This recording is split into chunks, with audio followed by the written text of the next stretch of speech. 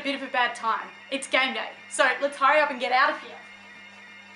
I need you ready to go to work. Cause I'm a player, man.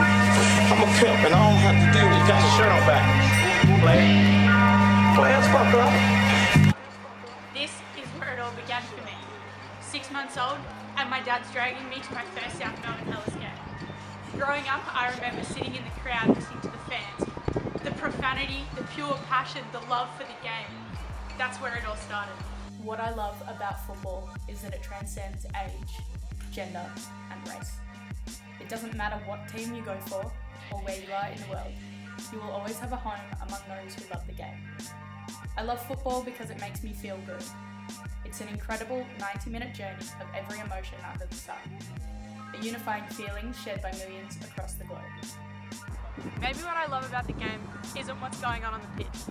It's that for 90 minutes on a Sunday afternoon or a Friday night, you can forget about everything that's going on around you and be united as one mass of love and passion for football. What I want to show the world is the amazing way that football can change people's lives. But I can only do that with the help of Copa90. I'm young, I'm ambitious, my passport's ready. All you have to do is give me the chance.